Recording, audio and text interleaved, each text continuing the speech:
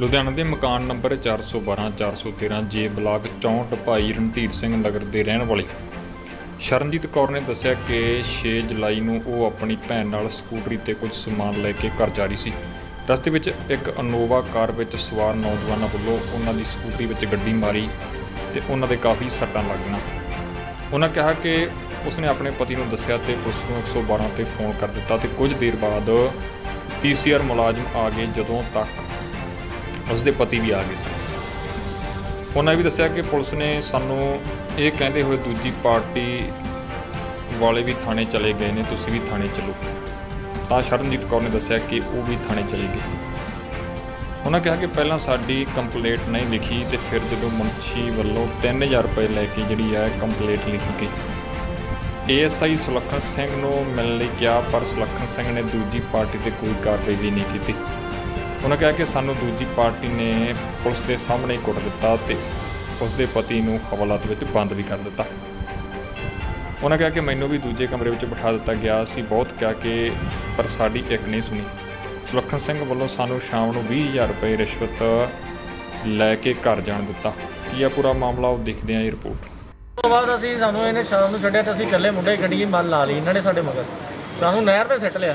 ਨਹਿਰ ਤੇ ਸਿੱਟ ਕੇ ਇੱਕ ਮੁੰਡਾ ਹੈ ਪੱਠਲ ਤੇ ਇੱਕ ਅ, ਸੋਢੀ ਆ ਨਾਂ ਦਾ ਜਿਹਨੂੰ ਪਤਾ ਜਿਹਦੇ ਕੋਲ ਰਿਵਾਲਵਰ ਹੈ ਇਹਨਾਂ ਨੇ ਸਾਨੂੰ ਉਹਤੇ ਰਿਵਾਲਵਰ ਮੇਰੀ ਕੰਨ ਪੱਟੀ ਤੇ ਲਾਇਆ ਮੇਰੀ ਜਨਾਨੀ ਤੇ ਲਾਇਆ ਡਰਾਇਆ। ਕਿ ਜੇ ਤੁਸੀਂ ਅੱਗੇ ਜਾ ਕੇ ਕੋਈ ਕਾਰਵਾਈ ਕਰਨ ਦੀ ਕੋਸ਼ਿਸ਼ ਕੀਤੀ ਤੁਹਾਨੂੰ ਗੋਲੀ ਮਾਰ ਕੇ ਇੱਥੇ ਹੀ ਛੱਡ ਦੂੰਗਾ ਮੈਂ। ਤੇ ਕੋਈ ਮੇਰਾ ਕੁਝ ਕਰ ਨਹੀਂ ਸਕਦਾ। ਤੇ ਅਸੀਂ ਉਸ ਟਾਈਮ ਡਰ ਗਏ ਤੇ ਇਹਨਾਂ ਨੇ ਸਾਨੂੰ ਉੱਥੇ ਕੁੱਟਿਆ ਵੀ। ਜਿਹਦੇ ਵਿੱਚ ਅਸੀਂ ਐਮਐਲਆਰ ਵੀ ਕਰਾਈ ਆ ਉਹ ਉੱਥੇ ਆ ਜੂਜੀ ਕਰਨਾ ਮੈਨੂੰ ਕੀ ਕਾਰਨ ਹੈ ਵੀ ਤੁਸੀਂ ਸੀਪੀ ਦਫ਼ਤਰ ਆਏ? ਐਕਸੀਡੈਂਟ ਹੋਇਆ ਸੀ ਕੱਲ੍ਹ ਨੋਵਾ ਗੱਡੀ ਵਿੱਚ। ਕਿਹੜੀ ਜਗ੍ਹਾ ਜੀ? ਸਾਡੇ ਘਰਾਂ ਦੇ ਕੋਲ ਜੇ ਬਲਾਕ ਕਿਹੜੀ ਦਾ ਜੇ ਬਲਾਕ ਜੇ ਬਲੋਕ 'ਚ। ਤੇ ਇਹਦੇ ਸੰਬੰਧ ਵਿੱਚ ਤੁਸੀਂ ਸ਼ਿਕਾਇਤ ਕੀਤੀ ਕਿ ਗਏ ਸੀ ਥਾਣੇ। ਕੀ? ਗੱਲ ਹੋਈ? ਥਾਣੇ ਵਾਲਿਆਂ ਨੇ ਪਹਿਲਾਂ ਤਾਂ ਸਾਡੀ ਕੰਪਲੇਂਟ ਨਹੀਂ ਲਿਖੀ ਸਾਨੂੰ ਮਨਾ ਕਰ ਦਿੱਤਾ। ਅੱਛਾ ਜੀ। ਉਹ ਕਹਿੰਦੇ ਤੁਹਾਡੀ ਕੋਈ ਕੰਪਲੇਂਟ ਨਹੀਂ ਲਿਖੀ।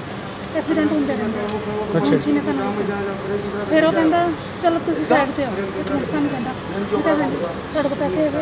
ਮੈਂ ਕਿਹਾ ਹੈਗਾ 3000 ਰੁਪਏ ਅਸੀਂ ਮਾਰਕੀਟ ਤੋਂ ਆ ਰਹੇ ਸੀ ਮੈਂ ਕਿਹਾ ਹੈਗਾ 3000 ਰੁਪਏ ਕਹਿੰਦਾ ਲਿਆਓ ਤੁਹਾਡੀ ਮੈਂ ਕੰਪਲੇਂਟ ਲਿਖੀ ਉਹਨੇ ਮੈਨੂੰ 3000 ਰੁਪਏ ਕਿੰਨੇ ਲਿਆ? ਮੁੰ- ਨੇ ਕੀ ਨਾਮ ਆਉਂਦਾ ਨਾਮ ਨਹੀਂ ਮੈਨੂੰ ਪਤਾ ਮੋਨਾ ਜਿਹਾ ਉੱਥੇ ਬੈਠਾ ਹੁੰਦਾ ਬੰਦਾ ਜਿਹਾ ਅੱਛਾ ਜੀ ਫਿਰ ਫਿਰ ਨਗਰ ਥਾਣੇ 'ਚ। ਫਿਰ ਉਹਨੇ ਸਾਡੀ ਕੰਪਲੇਂਟ ਲਿਖੀ ਉਹਨੇ ਅੱਧੀਆਂ ਗੱਲਾਂ ਲਿਖੀਆਂ ਅੱਧੀਆਂ ਨਹੀਂ ਨਹੀਂ। ਕਿਉਂਕਿ ਉਹ ਦੂਜੀ ਪਾਰਟੀ ਆ ਗਈ ਸੀ ਪਹਿਲਾਂ ਦੀ ਉੱਥੇ ਬੈਠੀ ਹੋਈ ਸੀ ਆ ਕੇ ਤੇ ਉਹਨਾਂ ਨੂੰ ਠੰਡੇ ਠੰਡੇ ਪਿਆ ਰਹੇ ਸੀ। ਤੇ ਐਸਆਈ ਜਿਹੜੇ ਸੁਲੱਖਣ ਸਿੰਘ ਸੀਗੇ ਮੌਕੇ ਤੇ ਆਇਓ ਸੀਗੇ ਉਹ ਵੀ ਉਹਨਾਂ ਨੂੰ ਠੰਡੇ ਠੰਡੇ ਪਿਆ ਰਹੇ ਸੀ। ਉਹ ਕਹਿੰਦੇ ਕਿ ਸਾਡਾ ਜਦੋਂ ਉੱਥੇ ਮਤਲਬ ਸਾਡੇ ਐਕਸੀਡੈਂਟ ਹੋਇਆ ਉਹ ਕਹਿੰਦੇ ਸਾਡਾ ਭਰਾ ਥਾਣੇ ਲੱਗਿਆ ਆਈਓ ਕੌਣ? ਸੁਲੱਖਣ ਸਿੰਘ। ਜਿਨ੍ਹਾਂ ਨੇ ਸਾਨੂੰ ਛੱਡ ਪਹਿਲਾਂ ਅਰੈਸਟ ਕਰ ਲਿਆ। ਮੇਰੇ ਹਸਬੰਡ ਨੂੰ ਅੰਦਰ ਦੇ ਦਿੱਤਾ।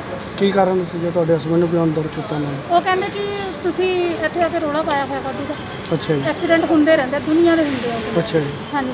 ਸਾਡਾ ਮੈਡੀਕਲ ਲੇਟ ਕਰਨ ਦੀ ਵਜ੍ਹਾ ਹੂੰ। ਸਾਨੂੰ ਲੇਟ ਅੰਦਰ ਦਿੱਤਾ ਗਿਆ ਮੈਨੂੰ ਵੀ ਅੰਦਰ ਦਿੱਤਾ ਗਿਆ ਮੇਰੇ ਹਸਬੰਦ ਨੂੰ ਤੁਹਾਨੂੰ ਹਵਾਲਾ 'ਚ ਪਾਇਆ ਜੀ? ਕਿ ਉੱਧਰ ਬਿਠਾਇਆ ਗਿਆ ਇੱਧਰਲੀ ਸਾਈਡ ਲੱਗਦੀ ਇਸ ਤਰ੍ਹਾਂ ਇਹਨਾਂ ਨੂੰ ਹਵਾਲਾ ਚ ਪਾਇਆ। ਅੱਛਾ ਜੀ। ਹਾਂਜੀ।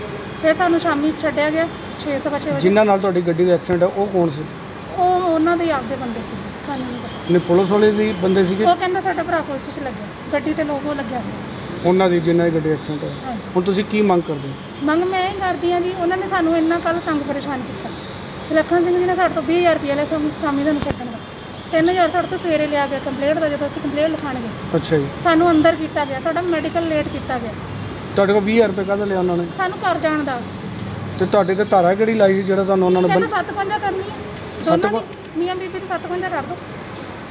ਦੂਜੀ ਬਾਲਟੀ ਤੇ ਨਹੀਂ 750 ਦਿੱਤੀ? ਨਹੀਂ ਕਿਸੇ ਤੇ ਨਹੀਂ ਕੀਤੀ। ਉਹਨਾਂ ਨੂੰ ਠੰਡੇ ਪੈ ਜਾ ਰਹੇ ਸੀ। ਸਾਨੂੰ ਇੰਨਾ ਪਰੇਸ਼ਾਨ ਕੀਤਾ ਕਿ ਸਾਨੂੰ ਧੱਕੇ ਮਾਰੇ ਗਏ। ਮੇਰਾ ਜੇਠ ਘਰੋਂ ਪੈਸੇ ਪੂਹੇ ਲੈ ਕੇ ਆਇਆ। ਉਹਨੂੰ ਥੱਪੜ ਮਰਵਾਏ ਗਏ ਦੂਜੀ ਪਾਰਟੀ ਤੋਂ। ਉਹਨੂੰ ਧੱਕੇ ਮਰਵਾਏ ਗਏ। ਮੁੰਡਿਆਂ ਨੇ ਬਹੁਤ ਸਾਨੂੰ ਕੀਤਾ ਇਹਨਾਂ ਮਿਤੀ 6 ਜੁਲਾਈ ਨੂੰ ਦਰਖਾਸਤ ਆਈ ਸੀ ਸ਼ਰਨਜੀਤ ਕੌਰ ਅਤੇ ਮਨਿੰਦਰ ਸਿੰਘ। ਦੋਨੋਂ ਜੇ ਬਲਾਕ ਦੇ ਨਿਵਾਸੀ ਹੈ ਇਹਨਾਂ ਦਾ ਉੱਥੇ ਨਾਮਦੇਵ ਚੌਂਕ ਕੋਲ ਮਨਿੰਦਰ ਸਿੰਘ ਦੀ ਗੱਡੀ ਸੀ। ਉਹ ਮਾੜਾ ਜਿਹਾ ਟਕਰਾ ਗਈ ਹੋਣੀ ਇਹਨਾਂ ਦੇ ਐਕਟਿਵਾ ਨਾਲ। ਦੋਨੋਂ ਧਿਰਾਂ ਨੇ ਪਹਿਲੇ 100 ਨੰਬਰ ਤੇ ਫੋਨ ਕੀਤਾ ਉੱਥੇ ਪੀਸੀਆਰ ਭੇਜਿਆ ਗਿਆ। ਫਿਰ ਪੀਸੀਆਰ ਨੇ ਉੱਥੇ ਦੇਖਿਆ ਕਿ ਰੌਲਾ ਵੱਧ ਗਿਆ ਇਹਨਾਂ ਦਾ ਨਿੱਕੀ ਜਿਹੀ ਇਸ਼ੂ ਨੂੰ। ਇੱਥੇ ਭੇਜਤਾ ਸੀ। ਇੱਥੇ ਦੋਨਾਂ ਧਿਰਾਂ ਨੇ ਦਰਖਾਸਤ ਲਿਖਾਈ ਹੈ। ਦਰਖਾਸਤ ਲਿਖਾ ਕੇ ਚਲੇ ਗਏ, ਨਾ ਆਪਾਂ ਕੋਈ ਗੱਡੀ ਰਾਉਂਡ ਅਪ ਕੀਤੀ ਹੈ। ਇਸ ਤੋਂ ਬਾਅਦ ਜਿਹੜੇ ਥਾਣੇਦਾਰ ਸਾਹਿਬ ਸੀ, ਜਿਹੜੇ ਡੀਲ ਕਰਦੇ ਸੀਗੇ ਐਸਆਈ ਸੁਲੱਖਣ ਸਿੰਘ, ਉਹਨਾਂ ਨੇ ਇਹਨਾਂ ਨੂੰ ਟਾਈਮ ਦੇ ਕੇ ਬੁਲਾਇਆ ਵੀ ਹੈ, ਜੋ ਹਾਜ਼ਰ ਨਹੀਂ ਹੋਏ ਉਸ ਦਿਨ ਇਹ ਗੱਲ ਹੋਈ ਹੈ, ਆਪਸ 'ਚ ਉਸ ਐਕਸੀਡੈਂਟ ਨੂੰ ਲੈ ਕੇ ਆਪਸ 'ਚ ਉਲਝਦੇ ਸੀ। ਇਹਨਾਂ ਨੂੰ ਸਮਝਾਇਆ ਗਿਆ ਤੇ ਇਹਨਾਂ ਨੂੰ ਫਾਰ ਕੀਤਾ ਗਿਆ ਸੀ। ਬਾਅਦ 'ਚ ਇਹਨਾਂ ਨੂੰ ਜਿਹੜਾ ਇਹਨਾਂ ਦਾ ਇਸ਼ੂ ਕ੍ਰੀਏਟ ਹੋਇਆ, ਉਸ ਸਬੰਧ 'ਚ ਇਹਨਾਂ ਨੂੰ ਬੁਲਾਇਆ ਗਿਆ ਸੀ, ਉਸ ਤੋਂ ਬਾਅਦ ਇਹ ਹਾਜ਼ਰ ਨਹੀਂ ਹੈ ਤੇ ਜਿਹੜਾ ਐਲੀਗੇਸ਼ਨ ਲਾਇਆ ਗਿਆ ਜੀ ਜਿਹੜਾ ਕੋਈ ਐਲੀਗੇਸ਼ਨ ਮੈਨੂੰ ਤਾਂ ਤੁਹਾਡੇ ਤੋਂ ਹੀ ਪਤਾ ਲੱਗ ਰਿਹਾ ਨਾ ਹੀ ਮੈਨੂੰ ਇਹ ਸ਼ਰਨਜੀਤ ਕੌਰ ਨੇ ਕੁਛ ਆ ਕੇ ਮੈਨੂੰ ਤਾਂ ਇਹ ਵੀ ਨਹੀਂ ਪਤਾ ਐਲੀਗੇਸ਼ਨ ਲਾਇਆ ਕਿੰਨੇ। ਸ਼ਰਨਜੀਤ ਕੌਰ ਤੇ ਮਨਿੰਦਰ ਸਿੰਘ ਮੈਨੂੰ ਤਾਂ ਕਿਸੇ ਨੇ ਅਪਰੋਚ ਨਹੀਂ ਕੀਤਾ। ਨਾ ਹੀ ਮੈਨੂੰ ਕਿਸੇ ਨੇ ਕੀ ਕਹਿੰਦੇ ਕਿਸੇ ਕਿਸਮ ਦੀ ਕੋਈ ਸ਼ਿਕਾਇਤ ਇਹਨਾਂ ਨੇ ਕੀਤੀ ਹੈ। ਆ ਕੇ ਕੋਈ ਗੱਲ ਹੈ ਮੈਨੂੰ ਦੱਸਣ। ਠੀਕ ਹੈ ਜੀ ਉੱਤੇ ਥੋੜਾ ਇਨਕੁਆਇਰੀ ਕਰਾਂਗੇ।